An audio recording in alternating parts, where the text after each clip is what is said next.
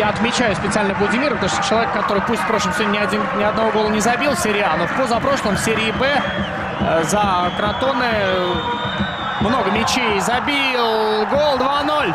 2-0. Ну и многое становится понятно. Забивает Милан. Давайте смотреть. Сусо здесь разобрался с двумя защитниками, да, ничего, в общем, особенного не сделав. Навесил и уже у ближней штанги